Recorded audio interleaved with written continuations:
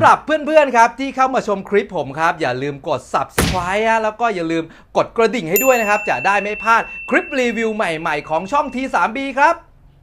สวัสดีครับพวกบผมครับเดอะ b บ b y บูมกลุ่มทุซุมอันซีนถ่ายชิมอิ่มดำครับ รู้ก่อนซื้อจะได้ไม่ผิดหวังนะฮะสำหรับสัปดาห์ที่แล้วครับ ก็ทำคลิปออกไปครับ ในการอัปเดต iOS เวอร์ชัน11.0.2 นะฮะ แล้วก็สัปดาห์นี้ครับ Apple ก็ได้ปล่อยตัวอัปเดตมาเป็นตัวใหม่อีกนะครับเขาก็บอกว่าแก้ปัญหาเรื่องบั๊กต่างๆครับเพราะว่าเวอร์ชันตั้งแต่ 11.0.1 11.0.2 เนี่ยบอกเลยครับบั๊กเยอะมากๆครับปัญหาเยอะมากๆจริงๆฮะ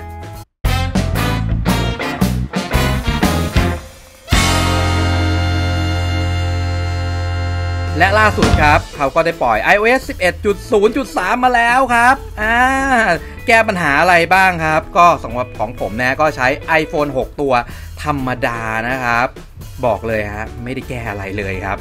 ก็ไม่ได้รู้สึกอะไรแตกต่างอย่างเดิมเลย ความเร็วอะไรอย่างเงี้ยเออก็ไม่ได้ช่วยมากขึ้น แต่ส่วนที่เขาออกมาแก้ไขก็สำหรับ iPhone 7 กับ iPhone 7 Plus นั่นเองนะครับเขาก็บอกว่าออกมาแก้ในเรื่องของ 3D Touch แล้วก็บั๊กต่างๆครับ แล้วก็สำหรับคนที่ใช้ iPhone 6s ครับตอนแรกเนี่ยเขาไม่ให้เราอัปเดตนะก็คือไม่ให้ดาวเกรดครับคืออัปเดตไปแล้วเนี่ยย้อนกลับไปได้ครับเพื่อนๆที่ ใช้จอของจีนนะครับ หรือว่าจอเทียบจอ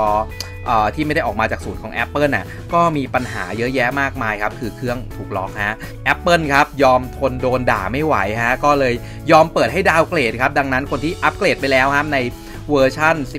11.0.2 ครับ แล้วเครื่องใช้ไม่ได้ครับ ให้รีบ downgrade กลับได้นะครับ ช่วงนี้เขาปล่อยให้ downgrade กลับแล้วครับ ส่วนข้อมูลนะครับ อย่างคลิปที่แล้วที่ผมบอกมาว่า iOS เนี่ย เวอร์ชันต่ำสุดที่ใช้กับ iPhone ให้เป็น iPhone 6 นะฮะ ก็ขอโทษจริงครับ เพราะว่าอ่านไม่ละเอียดรอบคอบเองฮะ ก็เวอร์ชันที่ดาวน์โหลดได้ต่ำสุดนะครับ คือ iPhone 5s นะครับ อ่า ย้ำนะครับ iPhone 5s เนี่ย ดาวน์โหลดได้ครับ แต่บอกเลยครับ ช้าครับ ช้ามาก ๆ ครับ แล้วก็ในเวอร์ชัน11.0.2 นะ คนอื่นเขาก็บอกว่าค่อนข้างกินแบตนะ แต่ผมใช้งานเนี่ย ผมรู้สึกว่าก็ไม่ได้กินแบตอะไรมากมายสักเท่าไหร่นะครับ ที่ใช้เดิมเวอร์ชัน10.0เท่าไหร่ไม่รู้จำไม่ได้แล้ว อันนั้นกินแบตเยอะกว่านะครับ ตอนนี้ก็ถือว่าประหยัดแล้วก็เห็นทุกคนนะครับ เท่าที่ผมไปดูอ่านรีวิวของคนอื่นๆด้วยนะ แล้วก็ใช้งานเองด้วยตอนนี้เวอร์ชัน11.0.3 เนี่ย ก็ถามว่าลื่นขึ้นไหมการเปิดปิดแอปพลิเคชันต่างๆ ครับ เร็วขึ้นนะ เวลาออกแต่ก็ตอนที่เป็นเวอร์ชัน11.0.2 เนี่ย เข้าไลน์ออกไลน์แล้วเนี่ยไลน์หายไปเลยครับ แต่ตอนนี้เนี่ยเข้าออกไลน์แล้วก็สามารถใช้งานได้นะครับ แล้วก็ การเปิดโปรแกรมนะครับ ก็